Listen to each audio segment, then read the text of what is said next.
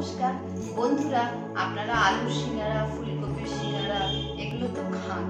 আজকে আমি আপনাদের দেখাবো নারকেলের সিঙ্গারা। এটা কিন্তু নিরামিষেও করা করা যায় আমি আজকে আপনাদের নিরামিষে নারকেলের সিঙ্গারা নারকেলের সিঙ্গারার জন্য নারকেল কোড়া আমি একটা গোটা নারকেলের নারকেল কোড়া কুড়িয়ে রেখেছি। আর ছোট্ট ছোট্ট করে আদা কুচিয়ে রেখেছি। এই আদা কুচিটা আপনারা মিক্সিতে একবার পেস্টও করে নিতে পারেন। যাদের মুখে আদা লাগলে পছন্দ হয় না, তার জন্য আদাটা পেস্ট তারা করতে পারেন, নইলে কুচিয়ে নেবে আর নিয়েছি কাঁচা লঙ্কা। এখানে একটা কথা বলার আছে। সেটা হচ্ছে, আপনারা যদি নিরামিষে না করতে চান, তাহলে আপনারা একটু পেঁয়াজ কুচি দেবেন। খুব কুচি কুচি করে একটু পেঁয়াজ কুচি দেবেন। কিন্তু আজকে বৃহস্পতিবার আমি এমনিতেই নিরামিষে করব। সেই জন্য আমি পেঁয়াজ ছাড়া এতে খুব সামান্য একটু নুন না দিলেও চলে। তবুও যেহেতু আদাটা দিচ্ছি, একটু সামান্য নুন আমি এতে দিয়ে নিলাম ব্যাস, আমার পুরটা রেডি এটাকে আমি মিক্স করে দেবো একটু পরে। তাহলে প্রথমে চলুন ময়দাটা আমি কীভাবে মাখছি। দেখুন, আমি দু কাপ মতন ময়দা নিয়ে নিয়েছি। আপনাদের প্রয়োজন মতন আপনারা ময়দাটা নেবেন। এর মধ্যে আমি দিয়ে দেবো খুব সামান্য একটু নুন ওয়ান ফোর্থ টিস্পুন নুন আমি। নুনটা ভালো করে আমি পরিষ্কার হাতে মিশিয়ে নেব। এর মধ্যে দিয়ে দেবো হোয়াইট বা সাদা তেল এটা একটু বেশি পরিমাণে দিতে হবে। কথায় আছে বন্ধুরা, জানেন তো? কিপটে লোকে নিমকি খেতে পারে না, সিঙ্গারা খেতে পারে না। এটাও কিন্তু একদম পারফেক্ট আপাতত আমি তিন টেবিল স্পুন বড় চামচের, তিন চামচ আমি সাদা তেল দিলাম। এটাকে খুব ভালো করে হাতে করে করে তেলটাকে ময়দার সঙ্গে মিশিয়ে মিশিয়ে বেশ একটু ডলে ডলে রেডি করতে হবে।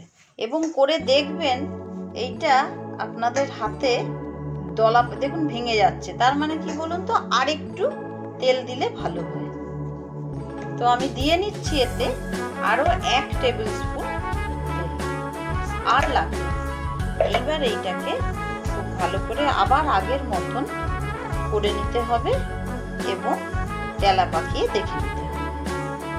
দেখুন, এবারে আমার ময়দাটা রেডি হয়েছে দেখুন আর কিন্তু ভাঙছে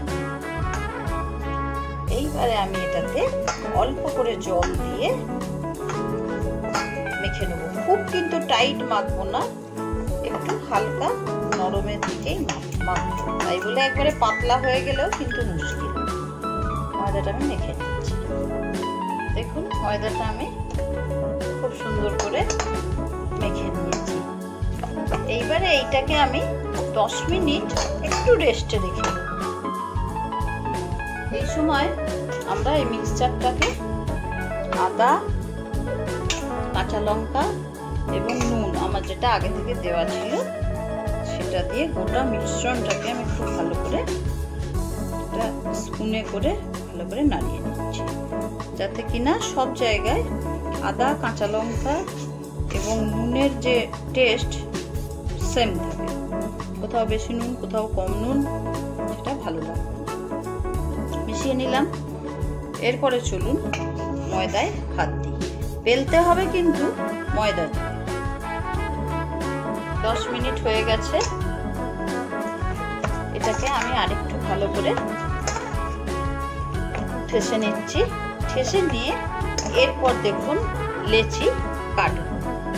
তা কীভাবে লেচিটা কাটবো? প্রথমে ছোট ছোট হাতের মতন করে নেবেন। দিয়ে সাইজটা এরকম। মানে আমরা যেরকম রুটি করি, তার থেকে একটু ছোট সাইজ করবেন। ময়দা দিয়ে বেলতে হবে। পুরোটা যেহেতু ময়দার, সেহেতু এটাকে একটু শক্তি লাগবে স্ট্রেচ করতে। যতটা সম্ভব টেনে পাতলা করার চেষ্টা করবেন। আর একটু লম্বাটে বেলবেন। তাহলে সিঙ্গারাটা তৈরি করতে সুবিধা এবার এটাকে কি করব? একটা ছুরি দিয়ে ঠিক মাঝখান থেকে দেখুন অর্ধেক এভাবে সিঙ্গারার মোড়াটা দেখুন। এই যে যেটা বেললাম, সেটা হাতে বা হাতে নেবেন। বা হাতে নিয়ে প্রথম অর্ধচন্দ্রাকারের যে তলার দিকটা সেইটাকে নিয়ে এরকম অর্ধেকটায় দেবেন। দিয়ে সামান্য জল এর উপরে দেবেন। দিয়ে ডান দিকেরটা এর সঙ্গে লাগাবেন। দেখুন, সিঙ্গারার কোনটা তৈরি এর ওপর, এর মধ্যে এবার এই নারকেলের যে পুরটা, সেইটা চামচে করে দেড় চামচ, দু চামচ যেরকম নিয়ে দেবেন। এরপর কি করবেন? এই যে মাথাটা, পুরো মাথাটাতে জল লাগাবেন জল লাগিয়ে মাঝখানটা এইভাবে মুড়ে দেবেন মুড়ে এটাকে এইটার সঙ্গে লাগিয়ে দেবেন দেওয়ার পরে বাকিগুলো ছাঁটিয়ে দেবেন সামান্য জল দেবেন। এই সিঙ্গারা তৈরি। আর একটা আপনাদের দেখাচ্ছি। দেখুন, প্রথমে এইভাবে মুড়লাম, এর ওপরে জল দিলাম, এরপরে এই পাশেরটা এটার সঙ্গে লাগালাম, তৈরি হয়ে গেল ফলটা এর মধ্যে আবার পুর দিলাম, দু চামচের মতন পুর আমার লাগল, তারপরে আবার মাথাটাতে সুন্দর করে জল দিলাম। এইটা এইভাবে মোড়ালাম, মুড়িয়ে অপোজিটের সঙ্গে পুরো মেশালাম। মিশিয়ে পাখিগুলো প্রেস করে দিলাম। এইভাবে আমি এখন সাত আটটা সিঙ্গারা রেডি করে নেব। দেখুন কড়াইয়ে আমি সাদা তেল বেশ পরিমাণটা দিয়ে রেখেছি যাতে কিনা সিঙ্গারাটা মোটামুটি ডুবে যায়। তবে তেল কিন্তু একদম গরম করে ছাড়বেন না। ঠান্ডা তেলে সিঙ্গারা ছাড়বেন। সিঙ্গারাগুলো আমি ছেড়ে দিচ্ছি। ছটা সিঙ্গারা আমি আপাতত ছাড়ব এটাকে একটু একদম ধিমে আছে হতে দেবেন, আর হালকা কালার আসলে উল্টিয়ে দেবেন। দেখুন, সিঙ্গারাগুলো আমি আস্তে করে উল্টে দিচ্ছি। সাবধানে করবেন, ফেটে গেলে কিন্তু ভিতরে তেল ঢুকে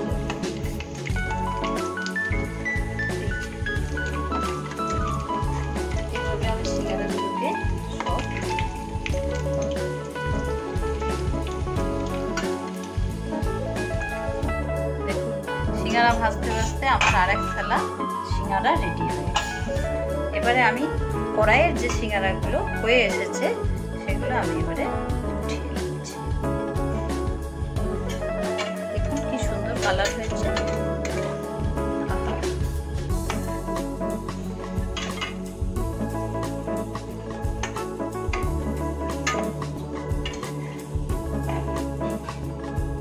তেল ছড়িয়ে ছড়িয়ে সিঙ্গারাগুলো